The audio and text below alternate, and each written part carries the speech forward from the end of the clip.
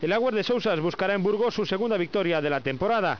El equipo entrenado por Paco García intentará repetir la buena actuación del partido de pretemporada disputado en el plantío y repetir también el resultado. El rival no invita al optimismo. Los fichajes de Mika Downs, Marcus Vinicius, Ray López o Ejique Ubuaja han reforzado una plantilla ya de por sí temible con jugadores como Alberto Miguel o Peter Laurent. Durísimo rival para un Aguas de Sousas necesitado de alegrías.